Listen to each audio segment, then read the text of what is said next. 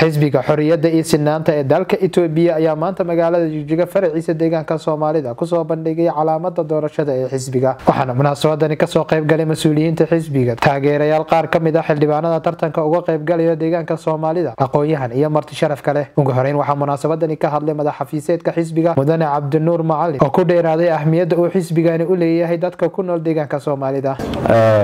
Mudanayaal iyo marweyin waxaan rabnaa inaan halkan inaga caddayno fariinta aan sidno ee ku saabsan xisbiga sinaanta iyo xorriyadda oo la asaasay laba kun iyo koob iyo tobankii taarikh tirsiga dalkeenna oo loo asaasay inuu u taagnaado uu u halgamo uu u fikiro uu u soo jeedo uu u dhaqdhaqaaqo uu mabda'a uu u taagan yahay calaamadihiisa afarta ee ah calaamadda koowaad waa in la helo xorriyad. Xorriyadda macno badan bay keenaysaa. Xorriyadda xagga hadalka. Waxayna soo martay xilli hadduu ruuxu hadla isagoo maraykanka jooga. Uu deegaankeenna saamayn ku yeelanayay. Waa xorriyad marka xagga hadalka ah. Waa xorriyad xagga fikirka ah. Waa xorriyad xagga maad aragtay cibaadada iyo diinta ku salaysan. Waa xorriyad ku salaysan xagga jendarka iyo muxuu ahaaye dhinacyada kala duwan ee nolosha waa xorriyad ku salaysan qaabka iyo fikirka ruuxu uu noolaanhayo iyadoo aynan ahayn ku tiirsane. Tan labaad waa in la helo sinaan. Sinaantu waxay calaamad u tahay adduunka inta la ogsoon yahay haddayna jirin sinaan oo laysku dul noolaado haddayna jirin sinaan oo ruux walbaba xaqii uu lahaa isagoon cid kale ku xadgudbin uunan helin lagama baxo waxyaabaha conflictiga la dhaho lagama baxo sidaa darteed sinaantu waa calaamad tusinaysa in ay bini aadamka ku wada noolaadaan waxay ku heshiiyeen. Ta saddexaad waa in la helo cadaalad. Labadaasoon la helin cadaalad ma imaato. Cadaaladdu kuwaa markii la helo kuwaa la soo ilaaliyo ayaa la odhan cadaalad baa meeshan ka jirta ama saansaan cadaaladeed ayaa muuqda. Sidaa darteed xisbigan halkudhigiisu saan arkayno waa sinaan xorriyad cadaalad.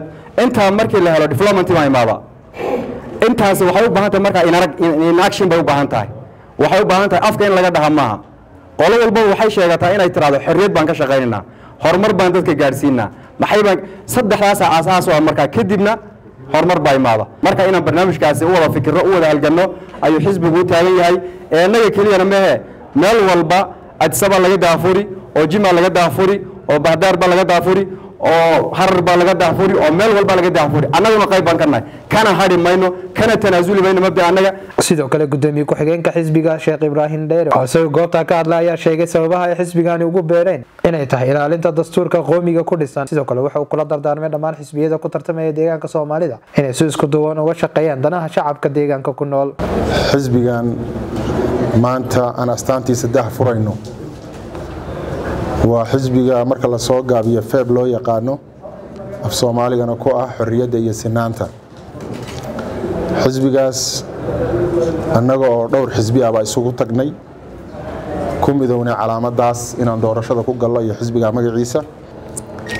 Ujeeddada aan ka lahayn waxaa weeye ama waxana jamciyey ama na kulmiyey waxaa weeyaan difaaca nidaamka federaalka ee qowmiyadaha ku dhisan. Maanta waxaan rabaa inaan halkan baaq uga diro marka raggii isbedeldoonka ahaa. Maanta waddankii qalinku dagaalankii qayb ka mid a hogaaminaysa waana ku ammaanan yihiin. Kamana xumin. Laakiin waxaan wax ku noqon karnaa qori ku dagaalankii iyo qalinku dagaalankii inaan intaan su nimaadna gacmahan isqabsanno. Ma fiirsada waa qadiyad muhiima. Keligeenna meh waa etoobiya oo dhanba. Hadda gobolka oromiya waad ogtihiin o l f iyo dadkii duurka ka yimid iyo dowladda dagaal baa ka dhexeeya saxna ma aha. Gobolkeennan ninka qalinku dagaalanka ahaa ee meesha haya iyo kuwii qori ku dagaalankaa yimid inay xaaladi ka dhaxaysa ma aha. Maslaxa nooguma jirto. Ismaaciil yaasiin star t v jigjiga